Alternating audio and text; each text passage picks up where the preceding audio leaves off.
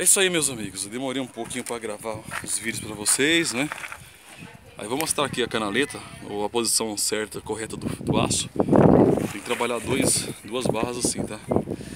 É, uma tracionando na parte negativa e outra na parte positiva. Aqui é a parte inferior e a parte superior aqui da, da canaleta, tá bom? Então, o que acontece? Olha, tem que respeitar aqui, ó, as dobras, né? Aqui, ó. As dobras aqui, né? Amarrar certinho. Não é porque a canaleta vai ficar tudo bagunçado o negócio, né? Então tá aqui, ó. Nosso serviço é esse aqui, ó. Olha, dá uma olhada só. Ó. Olha a parede, ó. Dá uma olhada. Olha o alinhamento desse prédio aqui, tá? Vou, olha aqui. Olha. Esse é nosso alinhamento aqui, tá?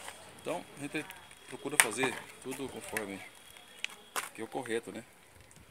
Tudo conforme manda as normas para não ter a nossa agulha aqui na de baixo, nesse pilarete aqui, certo? Aqui nosso, deixa eu abrir aqui e vou mostrar para vocês a, a, abertura das janelas, né? Aqui, ó.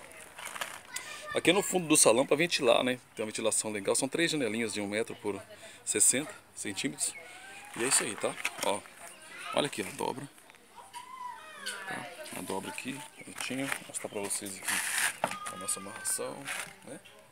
Aqui, ó. Mostrar aqui a parede que nós temos aqui, tá bom?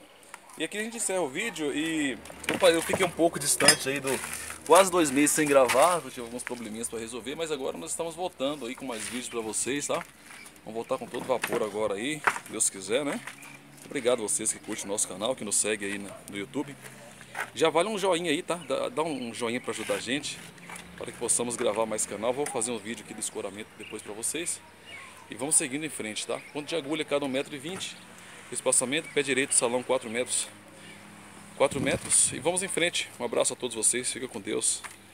Compartilhe o vídeo, se inscreve no canal e dá um, dá um joinha aí. Pra gente continuar gravando os vídeos. Um abraço a todos. Fica com Deus.